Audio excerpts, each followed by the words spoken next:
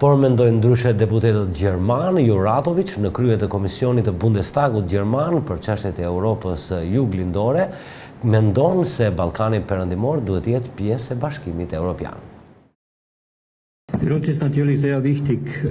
Shqipëria dhe Ballkani Perëndimor duhet të jenë pjesë e Bashkimit Europian u shpreh në Tiranë Kryesuesi i delegacionit gjerman të Grupit Parlamentar për Bashkëpunimin Gjermani-Europë Juglindore, Josip Juratoviç. Juratoviç në një konferencë për mediat tha se kanë parë të gjithë ecurinë e reformave të iniciuara dhe sesa e përgatitur është Shqipëria në kuadër të procesit të integrimit. Sipas Juratoviç, Shqipëria dhe gjithë rajoni i Ballkanit Perëndimor në aspektin gjeopolitik Janë oborr i brendshëm i Bashkimit Europian dhe si e tillë duhet të jetë pjesë e Unionit. Ai shtoi se marrëdhëniet midis parlamenteve në sferën politike mes Gjermanisë, Shqipërisë dhe vendeve të tjera të rajonit për ta si deputetë janë mjaft të rëndësishme. Duke folur për zhvillimet politike në Shqipëri ai tha se është e rëndësishme të zbatohet Kushtetuta.